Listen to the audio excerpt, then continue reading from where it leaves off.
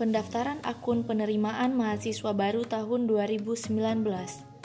Langkah pertama, kunjungi website pmb.pcr.ac.id. Isi nama lengkap dan nomor telepon atau email, dan jangan lupa klik I'm not a robot. Masukkan kode verifikasi yang telah dikirim ke nomor telepon, lalu klik verifikasi. Masukkan password yang Anda inginkan dan ulangi password, kemudian klik simpan. Silakan login dengan username dan password yang telah Anda buat dan lengkapi data diri.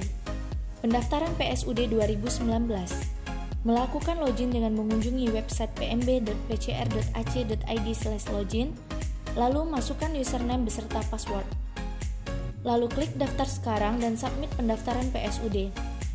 Ikuti tahapan pada proses ini dengan inputkan rank nilai dan jurusan sekolah, lalu pilih program studi, dan disarankan memilih lebih dari satu program studi dan tidak diperkenankan memilih semua D3 atau D4.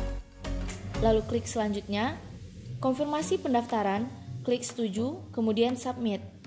Lengkapi data diri dengan klik lengkapi sekarang, mengisi profil pendaftaran, data orang tua, data sekolah, lalu konfirmasi.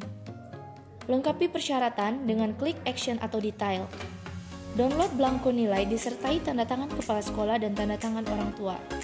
Lalu, download surat pernyataan disertai tanda tangan orang tua atau wali dengan dilengkapi materai 6000. Langkah terakhir, upload belangko nilai yang sudah ditandatangani kepala sekolah dan orang tua, kemudian upload surat pernyataan PSUD dan pas foto.